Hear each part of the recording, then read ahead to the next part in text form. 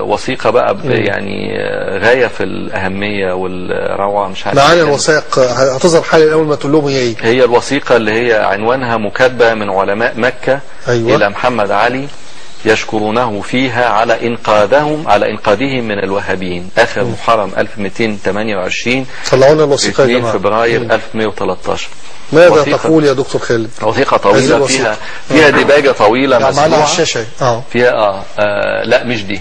مش, مش دي, دي؟ وثيقة طيب. تانية آه الوثيقة اللي عليها الأختام اللي في الهوامش. أيوة دي. هي دي. الفقرة الثانية منها هي فقرتين زي ما حضراتكم شايفين بتقول رسالة من المفاتي والخطباء والأئمة والمدرسين والعلماء. جمع مفتي. جمع مفتي. والأختام بتاعتهم هي اللي في الهامش دي. آه أختام آه الأختام دي كل اسم التوقيعات. آه.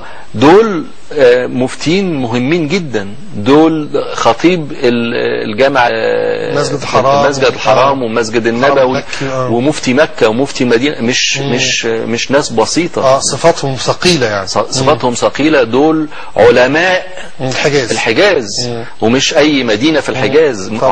فبيقولوا فيها إيه؟ بيقولوا فيها ينهون إلى مسامعكم العالية الطاهرة بأنه قد وفدت إليهم عساكركم المنصورة. فانقذتهم من أيدي أولئك الشروق الخوارج المعتدين الطغاة البغاة الملحدين الذين سعوا في جزيرة العرب بالفساد وزيفوا عقائدهم بالحلول والإلحاد واستحلوا دماء أهل الإسلام وصدوا كل وافد إلى بيت الله الحرام فشكرا لله صنيعكم على هذه النعمة العظيمة.